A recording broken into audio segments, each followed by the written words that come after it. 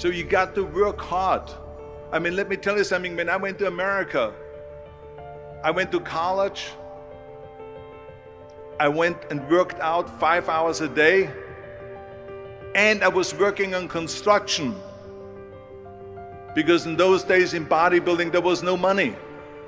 We didn't, I didn't have the money for food supplements or anything. So I had to go to work. So I worked on construction. I went to college. I worked out in the gym and at night from 8 o'clock at night to 12 midnight, I went to acting class four times a week. So I did all of that. There was not one single minute that I wasted.